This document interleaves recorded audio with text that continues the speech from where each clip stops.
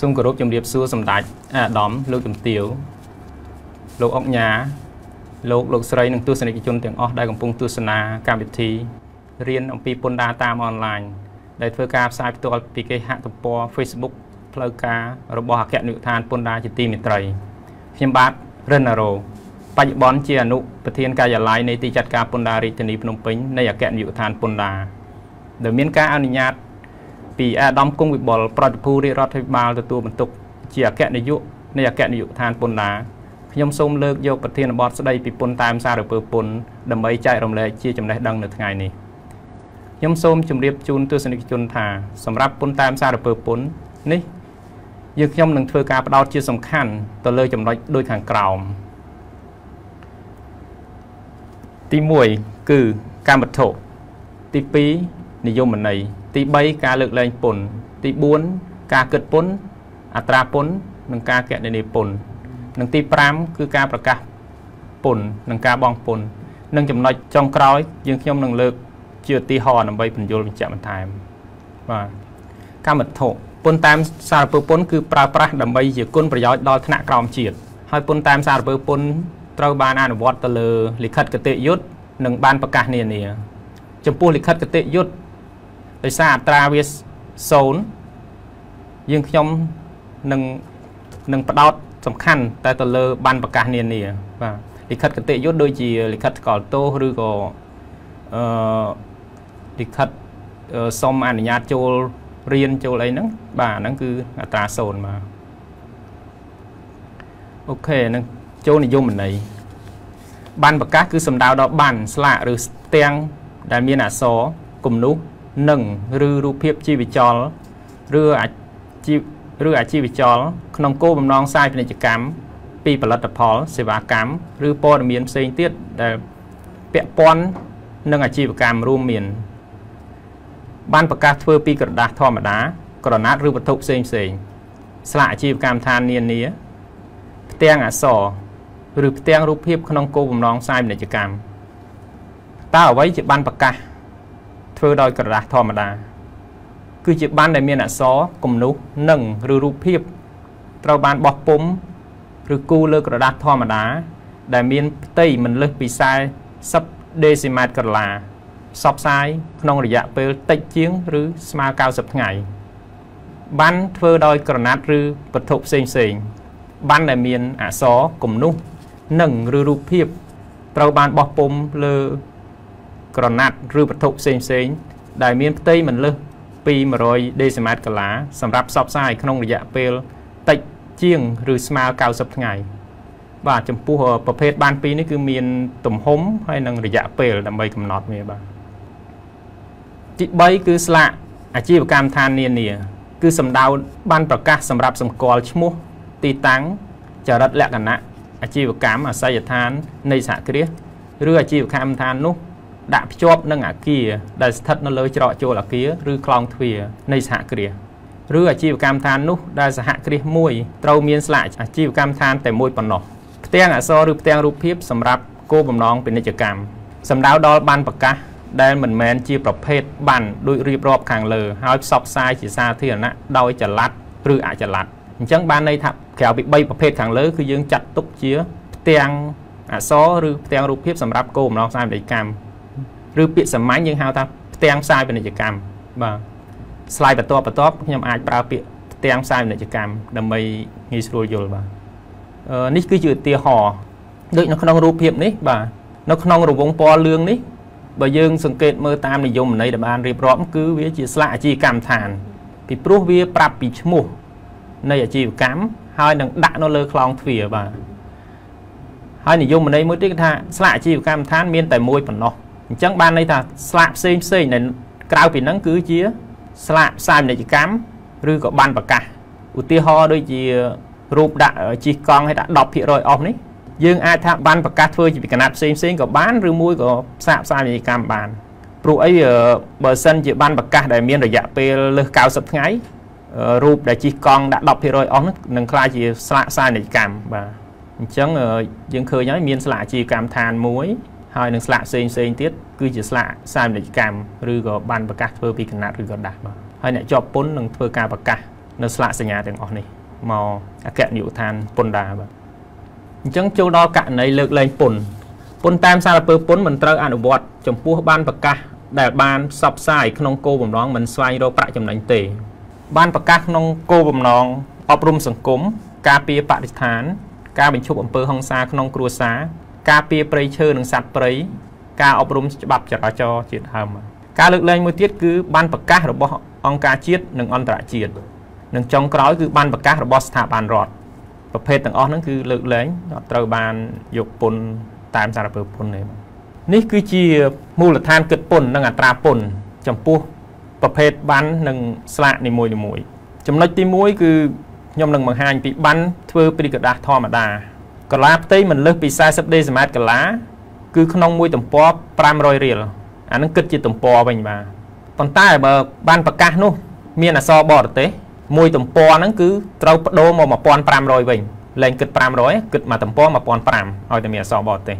ចំពោះផ្ទៃកន្លាលើសពី40ដេស៊ីម៉ែត្រគឺមួយទំព័រ700រៀលបើមានអក្សរបរទេសគឺ2100ក្នុងមួយទំព័របើមួយសន្លឹកវាផ្សងខាងអាហ្នឹងយើងគុណ2បាទទី2 ស្លាកធ្វើពីក្រណាត់ឬវត្ថុផ្សេងផ្សេងក្រឡាផ្ទៃមិនលើសពី40ដេស៊ីម៉ែត្រកន្លាគឺគិតជាផ្ទាំងវិញមួយផ្ទាំង700រៀលប៉ុន្តែបើមានអក្សរបរទេសនៅលើផ្ទាំងកណាត់នោះគឺយើងនឹងគិត2100រៀលវិញក្នុងមួយផ្ទាំងចំណែកឯក្រឡាផ្ទៃចន្លោះពី40ដល់100ដេស៊ីម៉ែត្រកន្លាគឺមួយផ្ទាំង1000រៀលប៉ុន្តែបើមានអក្សរបរទេសនៅលើផ្ទាំងនោះគឺត្រូវគិត3000រៀលក្នុងមួយផ្ទាំងវិញបាទ ក្រឡាផ្ទៃលើសពី100ដេស៊ីម៉ែត្រកន្លាត្រូវគិតជាផ្ទាំងអក្សរនិងរូបភាពផ្ទាំងអក្សររូបភាពបានន័យផ្ទាំងផ្សាយពាណិជ្ជកម្មបាទអញ្ចឹងបើសិនជាទំហំកណាត់ហ្នឹងដែលវាធំ គឺចូលករណីផ្ទាំងផ្សាយពាណិជ្ជកម្មហើយបាទអញ្ចឹងមិនជាទូទៅ អ្នកជាប់ពន្ធសឹងតែ90ទៅ95%គឺគាត់មកប្រកាសថាស្លាកអាជីវកម្មដ្ឋានហើយនឹងស្លាកផ្សាយពាណិជ្ជកម្មបាទព្រោះអីតែខុសពីលក្ខខណ្ឌអឺ ស្លាកធ្វើពីកណាត់ឬក៏ក្រដាស់ហ្នឹងគឺចូលស្លាកផ្សាយពាណិជ្ជកម្មទាំងអស់បាទចំពោះស្លាកអាជីវកម្មឋាននិងស្លាកផ្សាយពាណិជ្ជកម្មទី1យើងត្រូវគិតជាដេស៊ីម៉ែត្រកន្លាទៅតាម ទំហំផ្ទៃកន្លាប្រភេទតើប្រភេទនោះជាប្រភេទអាជីវកម្មឬក៏ពាណិជ្ជកម្មមួយទៀតដើម្បីកណនាពន្ធតែមយើងត្រូវដឹងទីតាំងស្លាកផងដែរកាយឬក៏ស្របផ្លូវសាធារណៈ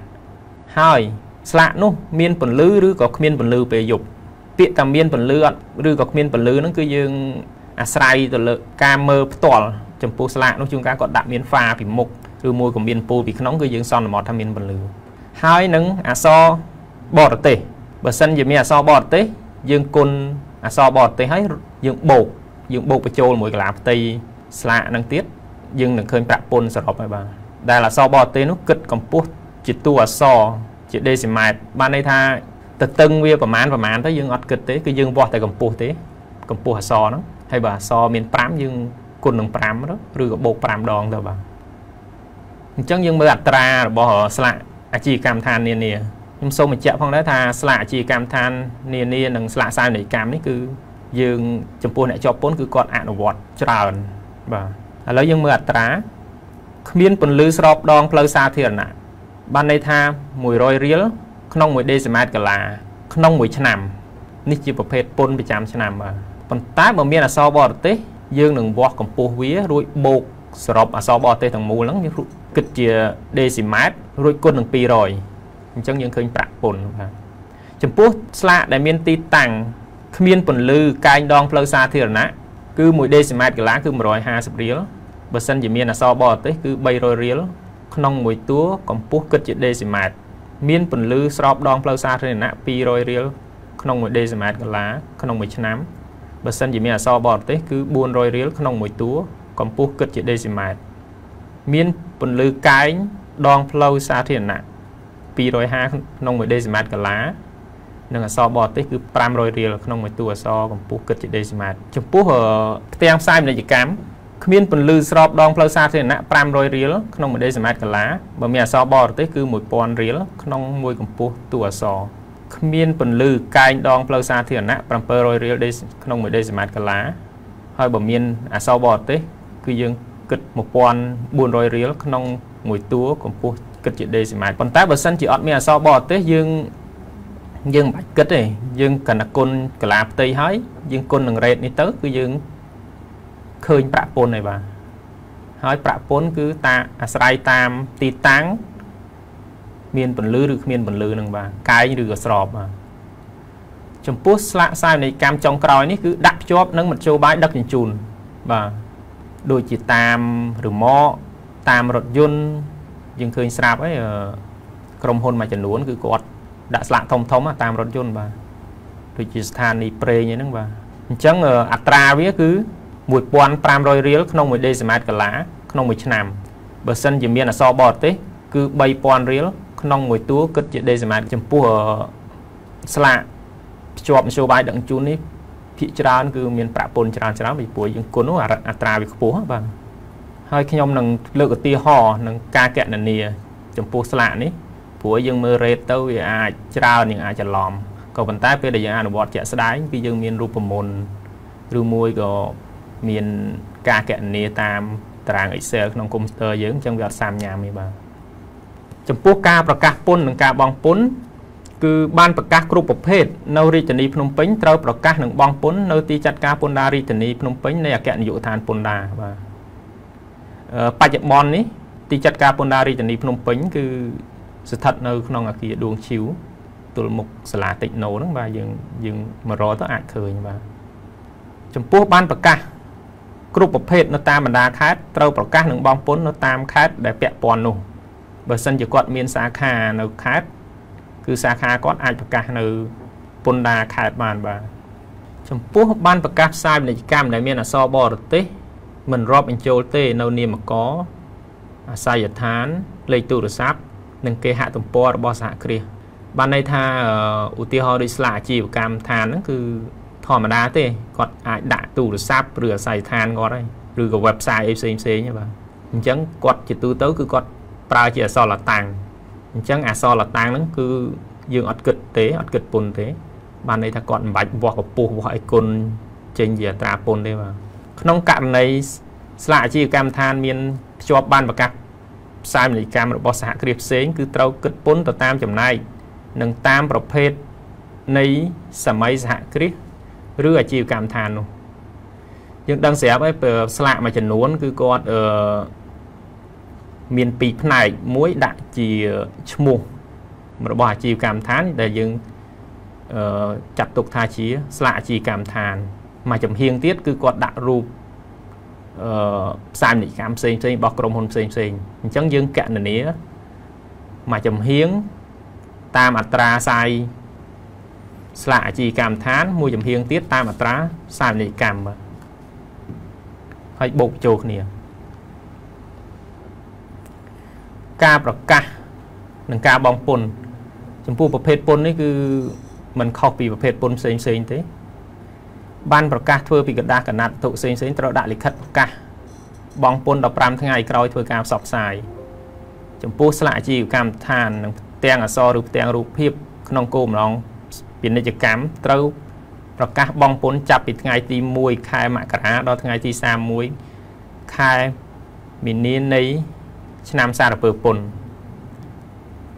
ដោយសារវាជាប្រភេទពន្ធប្រចាំឆ្នាំអញ្ចឹងយើងបង់ដូចពន្ធបតង់ឬក៏ប្រភេទពន្ធប្រចាំឆ្នាំផ្សេងផ្សេងគេគឺ3ខែដើមឆ្នាំហ្នឹងបាទចំពោះស្លាកដែលផលិតថ្មីក្រោយថ្ងៃទី31មីនាត្រូវដាក់លិខិតប្រកាសពន្ធ15ថ្ងៃក្រោយពីការធ្វើ ផ្សាយការផ្សព្វផ្សាយបាទចំពោះស្លាកអាជីវកម្មឋាននានានិងផ្ទាំងអក្សរឬរូបភាពក្នុងគោលបំណងផ្សាយនីយកម្មដែលផលិតថ្មី6ខែដើមឆ្នាំត្រូវបង់ពន្ធ100%បានន័យថាចន្លោះពីខែ1ដល់ខែ6ហ្នឹងរហូតដល់ចុងខែ6ហ្នឹងគឺបើលើកចន្លោះហ្នឹងគឺយើងបង់ពេញបើ6ខែចុងឆ្នាំត្រូវបង់ពន្ធ50% ចាប់ពីថ្ងៃទី1ខែ7ទៅហ្នឹងគឺយើងបង់តែ50%ទេហើយត្រូវដាក់លិខិតប្រកាសពន្ធ15ថ្ងៃក្រោយពីការធ្វើផ្សព្វផ្សាយអឺនេះខ្ញុំនឹងបន្ថែមឧទាហរណ៍ដើម្បីអស់លោកលោកស្រីកាន់តែងាយយល់បាទឧទាហរណ៍នៅក្នុងរូបនេះយើងមានស្លាកមួយដែលដាក់នៅទីសាធារណៈអញ្ចឹងសមត្ថកម្មគេមកថាឲ្យផ្ទាំងផ្សាយពាណិជ្ជកម្មយើងមើលក៏ដឹងថាផ្ទាំងផ្សាយពាណិជ្ជកម្មដែរមានពន្លឺព្រោះអីមាន ហ្វាបកគោលហ្វាអ្នកខ្លះទៀតគាត់ថាគាត់មិនដែលបើកទេអត់ដែលបើកក៏យើងគិតជាមានពន្លឺដែរតែស្រ័យលើផុសតាងនៃរូបនេះបាទហើយកែងដងផ្លូវបាទដែលមានទំហំ2ម៉ែត្រគុណ4ម៉ែត្រហើយនឹងមានអក្សរបរទេស clear បាទអញ្ចឹងយើងត្រូវគិតដែរតែសមត្ថកម្មគេឲ្យមកកម្ពស់អក្សរ C នេះ60សង់ទីម៉ែត្រអឺតួអក្សរ4ទៀតគឺ50សង់ទីម៉ែត្រ បាទចាំមើលការកណនីវាយ៉ាងម៉េចខ្ញុំនឹងបញ្យល់នៅក្នុងនេះបាទអញ្ចឹងយើងដឹងហើយការកណនីពុនតែម ទី1គឺយើងត្រូវគិតកលាផ្ទៃដែលຂ្នាតជាដេស៊ីម៉ែត្រអញ្ចឹងកលាផ្ទៃស្លាកមិញគឺបើយើងបំបែកជាដេស៊ីម៉ែត្រគឺ2ម៉ែត្រស្មើនឹង20អញ្ចឹងគុណឲ្យ4ម៉ែត្រ40 20គុណឲ្យ40ស្មើ800ដេស៊ីម៉ែត្រកន្លាក្រោយពីយើងដឹងផ្ទៃកន្លាហើយយើងគុណអត្រា ដោយសារស្លាកនេះជាស្លាកផ្សាយពាណិជ្ជកម្មមានពន្លឺ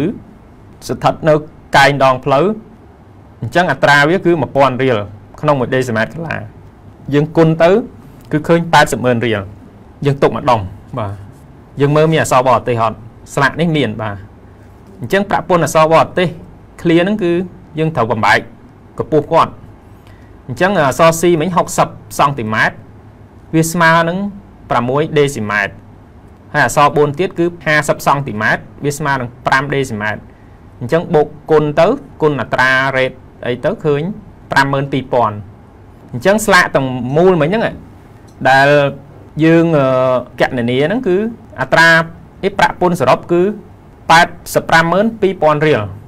បាទអញ្ចឹងយើងត្រូវយកទៅប្រកាសនៅទីចាត់ការពន្ធដាររាជធានីភ្នំពេញបើសិនជាវាស្ថិតនៅក្នុងរាជធានីភ្នំពេញបាទបាទអញ្ចឹង បទបង្ហាញគឺសូមបញ្ចប់ត្រឹមនេះហើយចំពោះឯកសារនិងច្បាប់បទបញ្ញត្តិពាក់ព័ន្ធលោកអស់លោកលោកស្រីអាចរកបាននៅគេហទំព័រអគ្គនាយកដ្ឋានពន្ធដារដែលមានអាស័យដ្ឋានដូចបង្ហាញលើ screen ហ្នឹងបាទ www.tax.gov.kh ឬតាមរយៈកម្មវិធី GDT News ដែលទាញយកពីកម្មវិធីទូរស័ព្ទដៃឬ Facebook page របស់គណៈនាយកដ្ឋានពន្ធដារ មួយទៀតយើងអាចតំណាក់តំណងតាម call center 1277បាទបាទកម្មវិធីរៀនអំពីពន្ធដារតាមអនឡាញលើប្រធានបទស្ដីពីពន្ធតាមសារពើពន្ធដែលខ្ញុំបានលើកយកមកធ្វើបទបង្ហាញជូនទស្សនិកជននាពេលនេះ សន្មតតែចប់របបរបបខ្ញុំបាទសូមថ្លែងអំណរគុណចំពោះការចំណាយពេលវេលាដ៏មានតម្លៃរបស់សម្ដេចឯអាដាមលោកជំទាវ លោកអុកញ៉ាលោកលោកស្រីអ្នកនាងកញ្ញានិងទស្សនិកជនទាំងអស់ក្នុងការតាមដានទស្សនាកម្មវិធីរៀនអំពីពន្ធដារតាមអនឡាញដែលធ្វើការផ្សាយផ្ទាល់ពីគេហទំព័រ Facebook ផ្លូវការរបស់អគ្គនាយកដ្ឋានពន្ធដារតាំងពីដើមរហូតដល់ចប់ខ្ញុំសង្ឃឹមថាកម្មវិធីនេះនឹងជួយផ្ដល់នៅចំណេះដឹងបន្ថែមនិងជួយលោកលោកស្រីក្នុងការបំពេញកាតព្វកិច្ចសារពើពន្ធឲ្យបានត្រឹមត្រូវការចូលរួមចំណែក របស់លោកលោកស្រី ក្នុង ការបំពេញកាតព្វកិច្ចសារពើពន្ធគឺជាការចូលរួមចំណែកក្នុងការអភិវឌ្ឍប្រទេសជាតិយើងជាចុងក្រោយខ្ញុំសូមគោរពជូនពរសម្ដេចអាដាមលោកជំទាវលោកអុកញ៉ាលោកលោកស្រីអ្នកនាងកញ្ញានិងទស្សនិកជន ទាំងអស់នៅពុទ្ធពរទាំង4ប្រការ គឺអាយុវណ្ណៈសុខៈនិងពលៈកំបីគ្លៀងគ្លាតឡើយ សូមអរគុណសូមជម្រាបលាបាទ